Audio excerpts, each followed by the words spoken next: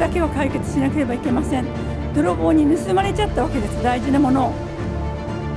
命を盗まれたんです。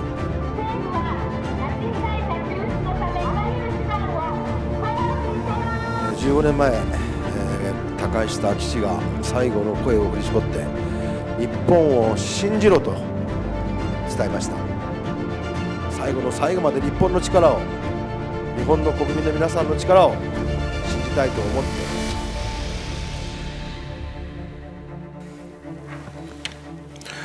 こんばんは。拉致問題話の時間です、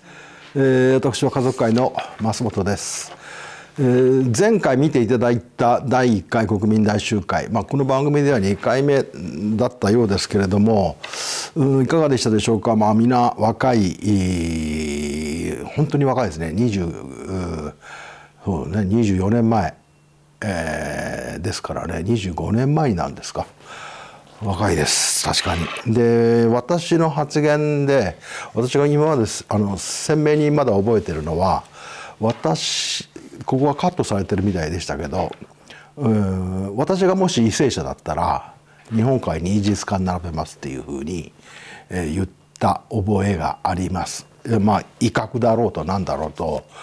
戦争する気は全くなかったですけどもそれぐらいの脅しはやってもいいんじゃないかなと。我が国は国民を取り戻すためには何でもするという姿勢を見せてもよかったのではないかというふうには思っています。国際法では認められてますからね、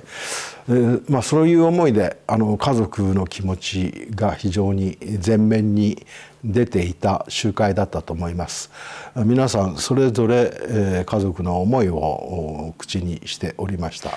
父はあの時に、えー、ご覧にいただいたように、えーえー、ルミ子が帰ってくるまで、えー、絶対死にませんって言ってたんですけどあのルミ子が帰ってくるか来ないかという2002年平成14年の10月17日に他界をしてしまいました。あれからももう21年ですか。22年になろうとしておりますがいまだにルミ子の安否もそれから帰国も成し得ていません。今日は4月の15日、えー、金日成の誕生日。これを受けて、まあ、あの数日前より北朝鮮が軍事衛星を打ち上げるのではないかという憶測それから予想というかもうすでにトンチャンリの方では衛星発射準備は完了しているという報道もありましたけれども今現在、この収録の収録時点ではまだ打ち上げておりません。えー、ということです。まあ北朝鮮では金日成の誕生日祝いをやはりまた、えー、平壌でやるのでしょうか。えー、ともう一つこのこれも新聞の抜粋なんですけどね金正恩に襲いかかる大暴動北朝鮮が各国へ派遣する若者労働者がブチ切れ反動チンピラ化ということなんですけどもこれ産経新聞が報じたんですけども中国東北部吉林省の工場で働く北朝鮮から派遣された労働者らによる賃金不払いに端を発した過激なストライキ勃発を伝えた今年1月のこと。えー、これ、えー、彼らは通称反動チンピラと呼ばれる、えー、MZ 世代1980年代から2000年代初旬の生まれの労働者ということなんですが反動チンピラとは金正恩政権の屋台骨を担う資金調達資金源調達の中核的存在である反面北朝鮮社会内部に外部の思想を流入させる窓口となる可能性がある若者たちのことですが、ラジオフリーアジアによれば1月の吉林省にある工場での暴動以降2月にも中国霊寧省、丹東市の衣類工場10人の北朝鮮労働者が帰国延期を理由に暴動を起こしたということです。こ同時期にコンゴ共和国の建設現場へ派遣された北朝鮮労働者らも数十人で同じ行動をとったと伝えられているんですがうん彼らはあのスマホをあの、うん、自由に操れる世代ということで自分たちが置かれている劣悪な状況を共有できる環境にあると。それが各地での反動チンピラ拡大の引き金になっているというのである。韓国の情報筋によれば北朝鮮労働者によって暴動が起こった工場は他にも複数あり体制保衛、えー、規律機関である国家保衛省が集中的に取り締まっているものの長期の海外生活で外部情報を自由に入手できる彼らを完全に統制するのは困難な状態にあると言われる。北朝鮮は30年以上ロシアそれから中国に労働者を派遣していましたけれど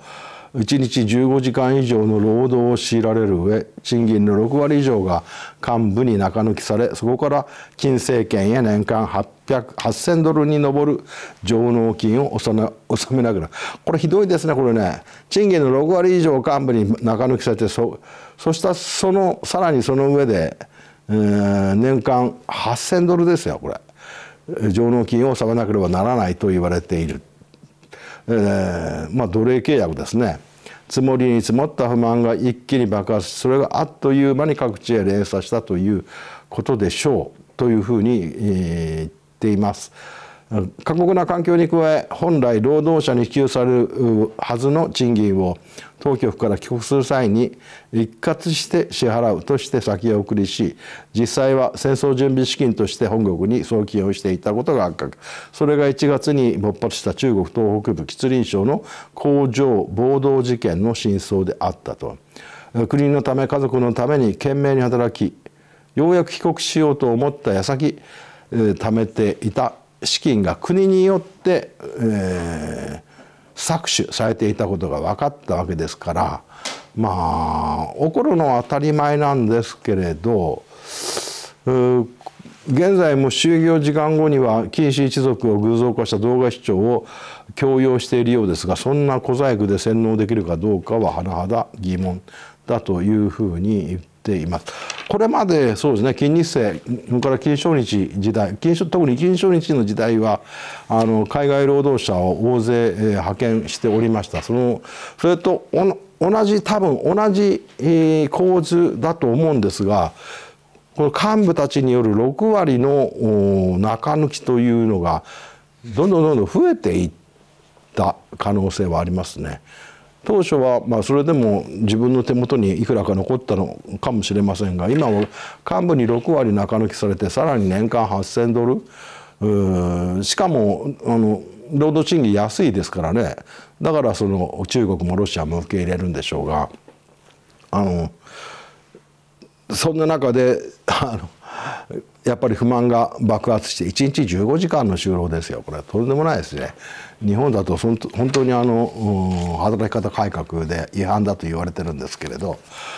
こんな状況が長く続いたことに対する不平不満が募ったということでしょう。そのそれだけ金正恩政権の求心力というか統制が崩れていっているのではないかと思われます。こういうことがたびたび続くことによって政権の崩壊につながることを危惧して今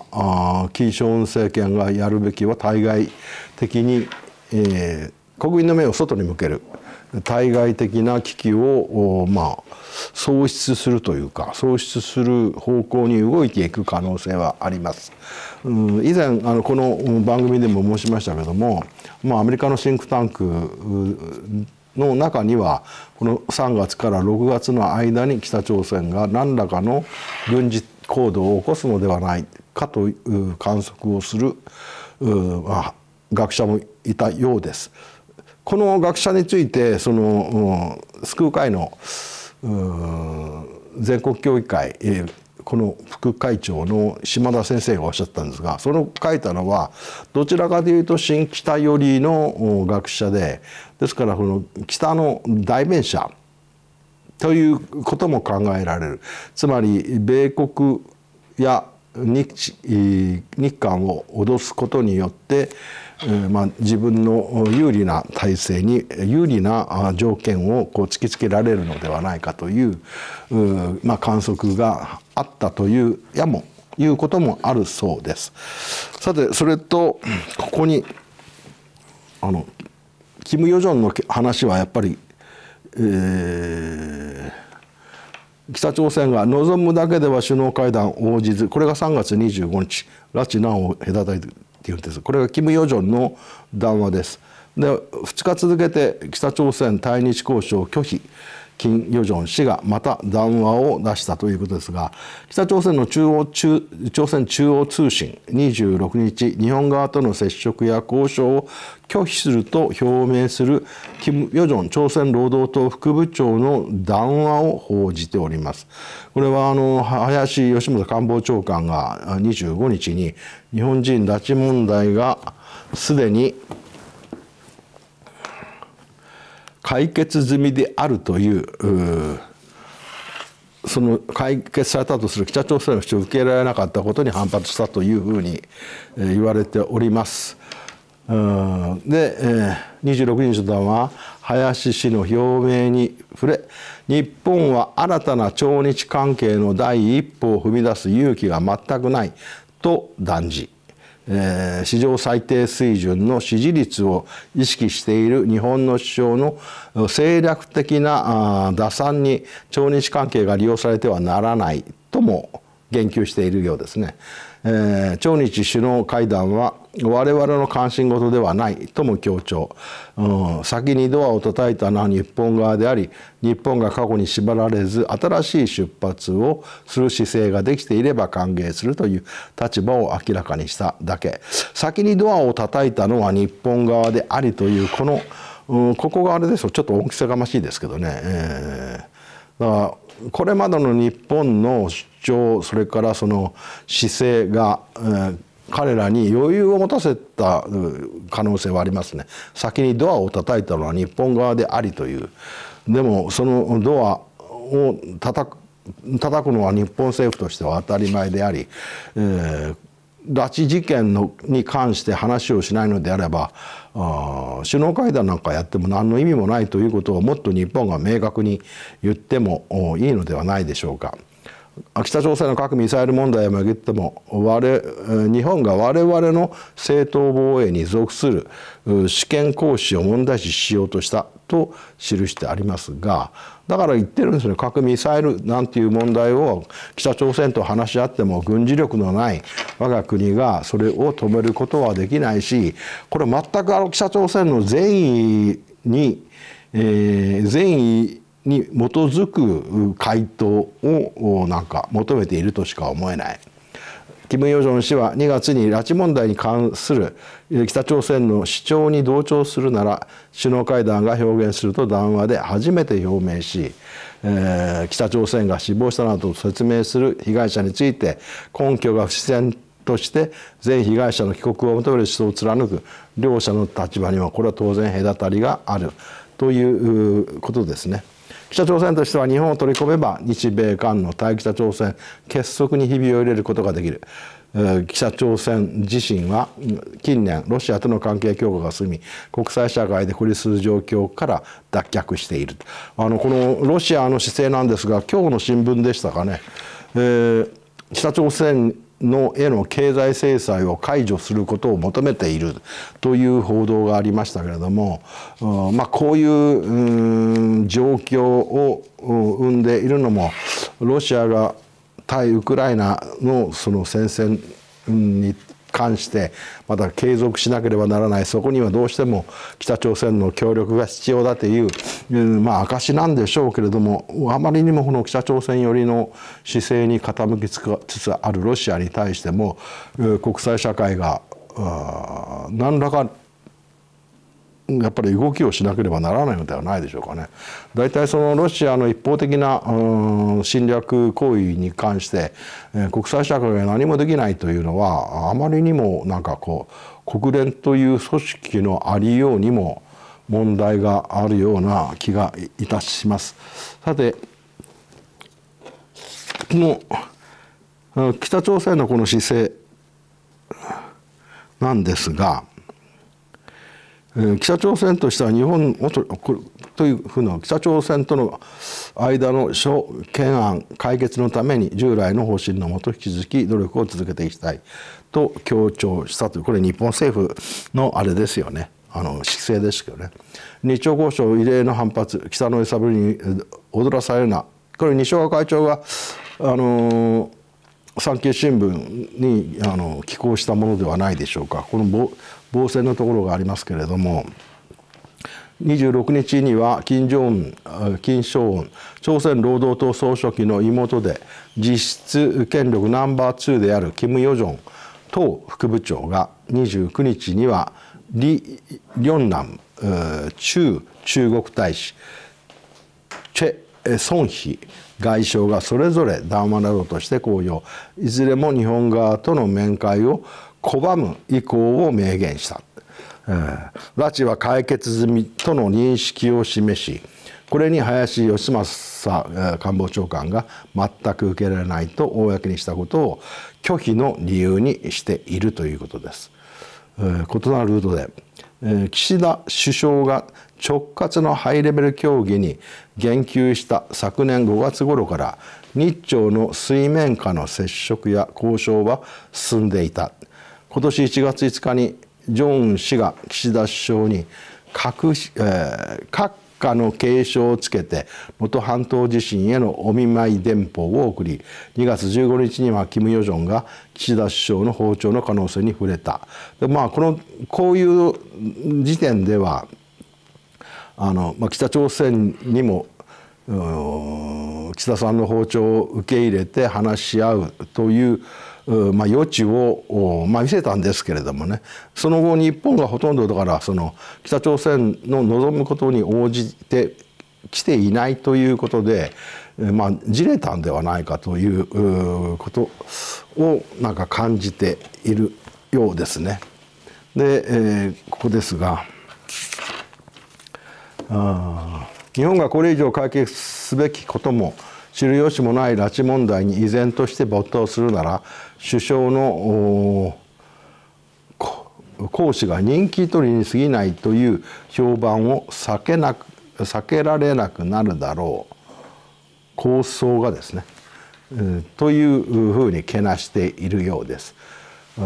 林官房長官は余剰の2月15日と3月25日の談話に対し全く同様の反応をしている拉致問題が解決された後の主張は全く受け入れられない。とし日朝平壌宣言に基づき、えー、拉致核ミサイルといった諸懸案を包括的に回復するという方針に変わりはない。本当にまあこの方針をずっと続けているんですけれどもねあの岸田首相は、異次元という言葉を使ってミサイル核ミサイルと拉致とは異次元の問題というふうに捉えているということを言っておるのであればもうこの外務省のこの文言ですよね日朝平壌宣言に基づき拉致核ミサイルといった諸懸案を法学的に開始するというもうここにこだわる必要はないんじゃないでしょうか。であのキム・ヨジョンサイドのリアクションはその3月のみその内容も苛烈冒頭で述べた通り日朝交渉の拒絶を表明した上で史上最低水準の支持率を意識している日本の首相の政略的な打算に朝日関係が利用されてはならないし首脳会談は我々にとって関心事ではないと突き放しているんですね。この北朝鮮、まあ、過去にもトップ会談直前に揺さぶりをかけ自分たちのペースで段取りを進めようとしたことがあったと。これ2000年ミレニアム会談ですね。あの南北会談。朝鮮半島分断後初となる南北首脳会談を2日後に控えたタイミングになって北朝鮮は韓国側へ中止を通告。会談の対価だった4億5,000万ドルの一部が未入金だったことが理由で当時の韓国情報機関幹部は北から約束の金を送らなければ首脳会談はないとの伝聞が来たこれはまたその揺さぶりということですよね。どうしても南北首脳会談をしたかった金大中韓国大統領がとにかく、えー、会いたいからといって先にもうあのお金をあの時5億ドルとか言われてましたけどもねここは4億5,000万ドルというふうに書いてありますがその金が支払わない限り会談を中止するという、まあ、警告を発したんですが、まあ、それに、えー、こうしてというかビビったのか、まあ、主導権を完全に北朝鮮に握られる形で南北首脳会談が開催されたわけで、まあ、そんな中あの南北首脳のによる宣言えー、ミレニアムのその宣言が全くまた形骸化してしまっているという現状にあります。もう一つこのトランプ政権の場合ですねまた18年6月にシンガポールで実施された史上初の米朝首脳会談の直前には当時の北朝鮮第一外務次官と、えー、外務次官が連続して談話を出し米国が先に核放棄後に保障という方式を持ち出して完全かつ検証可能で不可逆的な非核化を主張しているなどと非難して一方的な核放棄のみを強要しようとするなら首脳会談に応じるか再考せざるを得ないと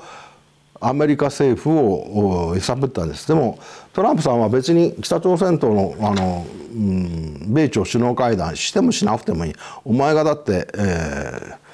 ー、応じる用意がないのであればいつでもあの席を立つ、まあ、実際にあのハノイでは席を立ったということもありましたけど。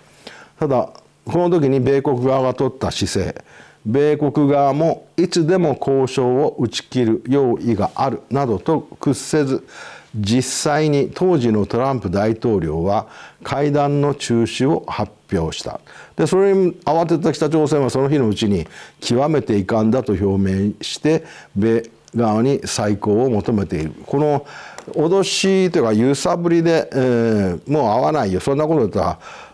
たら首脳会談に応じるか再考せざるを得ないと自分たちが言っといて米国が強硬ないつでも交渉を打ち切る用意があるというその発言に対してその日のうちにというふうに書いてます。その日のうちに極めて遺憾だと表明し米側に再考を求めている。北朝鮮はまあアメリカと話をしたくて話をしたくてしょうがないけれどもやっぱり主導権を握らなきゃいけないからこういうふうにあの再考せざるを得ないなどという談話を発表するんですよね。で今回の一連の北朝鮮の発信発信をめぐって李中中国大使はわずか100字程度の短文を朝鮮中央通信を通じて発表中国駐在の日本大使館関係者が朝鮮大使館参事に E メールで接触を提起してきたが我々は日本側と会うことはないなどとまあこれ交渉の中身を暴露するような形であの言ってるんですけどね。あ会いたくなければメールでそう返事をするか無視すればいいんですけれどもそれを朝鮮語のほか日本語英語中国語ロシア語スペイン語に翻訳されて全世界に発信される朝鮮中央通信を通したのはこれはやはりこの揺さぶり日本側に対する揺さぶりの発言だということです。揺さぶりは北朝鮮の常套手段、えー、岸田政権は表に出た言葉に一喜一憂せず従来通り全拉致被害者の一括帰国を求めてほしい。人道支援やあそれから独自制裁解除はあくまで一括帰国が実現した場合に限り平壌訪問のためにこうした措置を実施するというような情報をしては決してならないというふうに言ってますがこれだこれだけではなんか弱いような気がするよね。トランプ大統領というか米国はいつでも交渉を打ち切る用意があると言って北朝鮮サイドを慌てさせたように日本政府もあ日本政府がもう交渉を打ち切るということはまず考えられないからもしこの応じないのであればうんさらなる独自制裁、えー、朝鮮総連ビル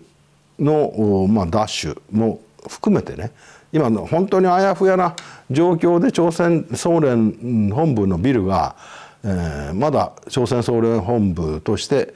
えーまあ、機能している状況をどうにかしようという退去してもらうということも主張できるわけですよね。あなたが応じないんだったらもうそこまで私たちはやるしかないんだよというぐらいの主張はしてもいいのではないかと私は思います。これが西岡さんのまあ寄稿文ですね。さらにえー、キム・ヨジョン団は日本にしびれ切らして暴露この先の言った暴露というのは日本中中中国日本大使館から中中国北朝鮮大使館に E メールであの、まあ、日朝会談のその、まあ、誘いをしてきたということを、まあ、暴露したということなんですが本来まあ外交、まあ、あまり私はあの北朝鮮との外交なんかありえないと思ってるので、えー、この人たちというか、まあ、こういう有識者たちはやっぱ外交として捉えている部分があるので、えー、外交的にはこのようなことは暴露という言葉で、えー、まあ表示するんでしょうね、えー、日米間切り離し韓国領土への打撃も狙うと書いてあります。これはえー、平岩さんの話なんですけれどもね、えー、南山大の平岩俊二教授の話として、まあ、西岡さんとは少しニュアンスの違う考え方でありますので、えー、それも、うん、紹介をしておきたいと思います。ヨジョン氏は岸田首相から会談の打診があったと明かし3月26日には日本側との交渉を拒否すると表明したその狙いはという問いに対して北朝鮮が本当に交渉する気があるならばキム・ヨジョン氏の談話のような形で途中経過を公表することはない。交渉する気があるならば。途中経過を公表することはない。一連の動きは昨年5月岸田文雄首相が日朝首脳会談実現のために交換協議を行いたいと発言したことから始まり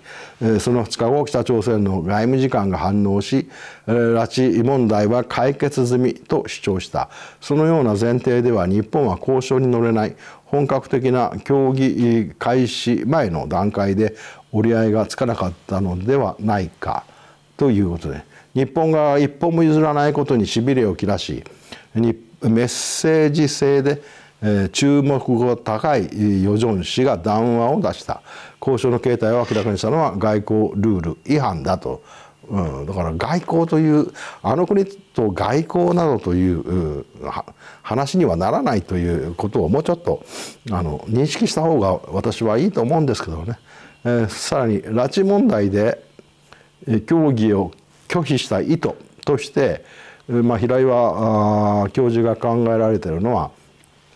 拉致問題を前提條件としないことに加え核ミサイル開発を指すとみられる正当防衛権についても認めようと繰り返し主張した。ということだと。日本政府は拉致核ミサイルの包括的解決を目指していることを分かっていながらこうした主張するのは北朝鮮側に日本と対話する意図はないということ。北朝鮮側に日本と対話する意図はないということだ。と断じています日本との接触を暴露することで日米韓を罹患し罹患し4月の韓国総選挙で与党に打撃を与える意図も伺えるこれ3月の段階ですからもう4月の10日になって韓国総選挙は終わりましたけれど与党非常な打撃を受けてますね。韓国のユン・ソンによる政権は韓国世論に対日外交で大幅に譲歩していると受け止められているさらに北朝鮮との交渉で日本に出し抜かれそうだと疑心暗鬼に陥らせようとしているという考えを持っておられるようです。日朝交渉を動かすにどうしたらよいのか、えー、ここからがあの白岩教授の独自の考えですがこの交渉が難しいのは拉致被害者の状況について情報がないことだ。日本側からすれば拉致被害者を全て返すのは当然のことだが北朝鮮側には日本が戦後処理をすべきだとの考えがある。北朝鮮が日本に対して拉致問題というカードを切るとしたら国交を正常化して大規模な経済支援を出す時しかないと私は考えている。うん。しかし核ミサイル問題も同時に解決しなければ国交正常化はできない。この考えなんですよ。北朝鮮側に日本が戦後処理をすべきだとの考えがある。これはまああの分かるんですけれどもね、えー、この戦後処理まあ韓国と日韓共同日韓合意ですねを結んだと同じように北朝鮮とも結べということでしょうけれどね。厳密に言えばですよあの韓国政府とまあ、合意した日韓合意ですがあれはあの朝鮮半島全体に関することであってそんなあの北朝鮮とまだ新たに結ばなければならない状況にはないとは思いますがそれでもあの、まあ、屈辱外交という方川名丸晋さんそれから小泉総理日朝国交正常化後の金丸さんの場合は、まあ、7,000億から8,000億円。で、えー、さらにその10年後ですかね。ほぼ10年十数年経った。あ小泉さんは1兆4,000億というお金を用意したようですけどもまあ本当によくわからない国ですよね我が国も。ということで、えー、これ北朝鮮が本当に交渉する気があるならばキリ・ヨジョン氏の談話を談話のような形で途中経過まあこの談話では拉致問題は前提条件としないことに加ええ核ミサイルの開発を指すとみられる正当防衛、えー、権について認めようと。で、えー、この平沼先生平平岩先生のこの国交を正常化して大規模な経済支援を出す時しかないと考えてること自体ちょっと私にはどうかと思いますけれどもこの有識者の間にはこれがまあ政治家の方たちも多いんでしょうね。国交を正常化して大規模な経済支援を出す時しかない。北朝日本北朝鮮が日本に対して拉致問題というカードを切るとしたら国交を正常化して大規模な経済支援を出す時しかないないと私は考えているとおっしゃいますけれども。ええー、とか思いますけどもね。だから今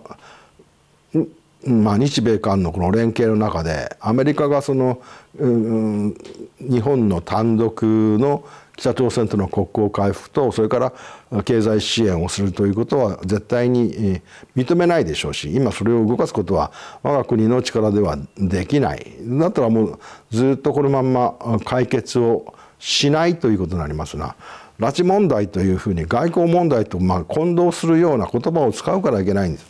拉致事件としてこの、うん、まあ立てこもり事件と同じですよね。立てこもり事件の場合はある時間まではその犯人の要望を聞くようなあ姿勢を見せてなるべく、まあ、穏便に、えそして、えー、なんていうかなあまりあ被害が及ばないようにやるしかし時間がある程度の時間が来たら、えー、被害者の健康を考えて強行突入もありえるというそういう問題ですよ。事件ですからでもこの拉致問題は外交問題として捉えてるから国交正常化をして大規模な経済支援を出す時しかないと考える人たちが大勢出てくるということですね。日本政府は2002年9月の日朝平壌宣言に基づき拉致核ミサイルといった諸懸案を包括的に解決するとの方針なんですけれどうん日朝平壌宣言は双方破棄しておらず拉致被害者の再調査を約束したストックホルム合意に立ち戻って交渉を始めることは可能と見ている誰が見ているんですかねこれ。しかし、えー、今の国際情勢の中で北朝鮮が姿勢を変えるとは思えないウクライナ戦争でロシア対欧米の構図ができて北朝鮮はロシアへの武器供与に、えー、よりエネルギーや食料を得て経済的に困っていない。バイデン政権からのアプローチには反応せず。核ミサイルで国防力を上げて次の政権との交渉に備えている次の政権はトランプ政権になる可能性もあるということですがもう一度トランプ政権と話し合いたいということなんでしょうか。ただ北朝鮮の言っている拉致は解決済みというこの言葉は全くあの間違いです。あの5人の生存者以外、えー、皆死亡という言葉もそうですしその他にあのストックホルム合意で認めた田中稔さんと金田辰光さんの件これも拉致ですからね北朝鮮が何て言ってるのか分かりませんけれどもこれも日本政府が認めた拉致被害者の認定被害者の中に田中稔さんが入ってるわけでこれも拉致ですからこの2人の処遇を明確にしない限り拉致事件の解決をしたとは言えない。でさらに言わせていただければ5人の拉致被害者帰国された拉致被害者ですね。彼らのその20年、まあ、19年20年あにほぼ19年ですね。1978年に拉致された方方ですからほぼ19年のそのそうか24年ですね、えー、帰国できたのは2002年ですから24年、えー、のその彼らの人生というか人権に対するその、謝罪を含めた賠償。これも全く何もだあの踏み入った話にはな踏み込んだ話にはなっていないですしこれをしなければならないのは北朝鮮の責任でありますから北朝鮮の言ってる